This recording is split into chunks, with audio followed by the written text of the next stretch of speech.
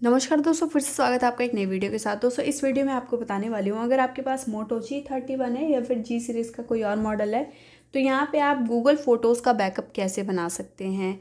आपका यहाँ पे गूगल फ़ोटोज़ तो है, लेकिन यहाँ पे बैकअप कैसे क्रिएट करना है? तो इसके लिए आप चले जाएँगे गूगल फ़ोटोज़ पे, और यहाँ पर आपको ऐसे चले जाना है थ्री डॉट पे, और यहाँ पर इस टाइप से ऑप्शन देखने को मिल जाएगा।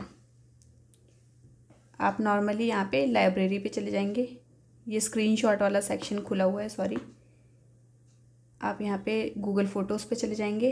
अब नॉर्मली इस पे आपको चले जाना है. और यहाँ पे जाने के बाद इस टाइप से ऑप्शन देखने को मिलेगा तो यहाँ पे आप इस पर क्लिक करेंगे. और बैकअप सेटिंग को इनेबल कर देंगे. ठीक है? तो यहाँ पे आपका बैकअप बनना स्टार्ट हो जाएगा. और यहाँ पे अभी दो परसेंट है. पंद्रह जीबी आपको फ्री मिलता है यहाँ पे देख सकते हैं। पंद्रह जीबी तक आप यहाँ पे बैकअप बना सकते हैं फ्री में और वरना बा, बाकी आपको परचेज़ करना पड़ता है। तो बैकअप यहाँ पे मैंने इनेबल कर दिया है। अब यहाँ पे हम बैक कर देंगे कुछ नहीं करना है। आपकी जितने भी फ़ोटोज़ हैं वो आपके यहाँ पे देख सकते हैं। अब यहाँ पे एरो देखने को मिलेगा। देख सकते हैं। इस टाइप से आपको देखने को मिलेगा जब बैकअप हमारा स्टार्ट रहेगा तो।